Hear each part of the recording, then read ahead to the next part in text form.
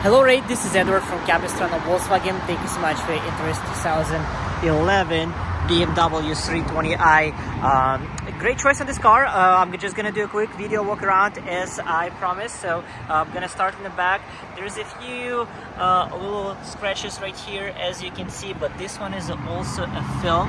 So it's not to the bumper. This is just a protective film. So which is a good sign. Whoever had the car before really tried to took care of the car. So you know like there's like a little thing right here, but otherwise the back looks very good condition coming up to the side on this rear tire and rear wheel there is no curb rash which is always a good sign. So it means that the person who drove it took a good care of it. The wheels are the tires are still pretty good uh, as you can see right there. So they still have a good amount of life on those. Here's another protection film on the car which is another good sign as well as right here as you can see this little film right there.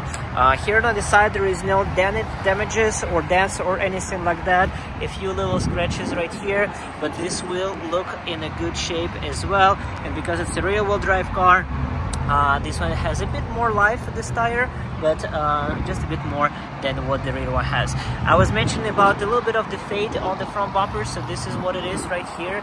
Uh, so just a bit of the fade there, and obviously, you know, uh, standard things on every front bumper with the age and mileage, you do have those rock chips and stuff like that.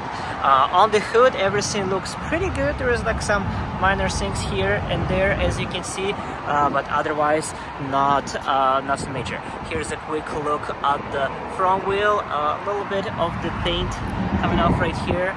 Um, so that's that tire still good. And here's a quick look uh, right here as well. So coming into the car the interior on the car is actually in a very good shape. Here's the car uh, the the door panel here is the seat uh, just a bit of the wear here but otherwise pretty good. And here's a quick look at this seat uh, nowhere there at all. And here's the back seat here's the headliner no uh, stains or anything like that.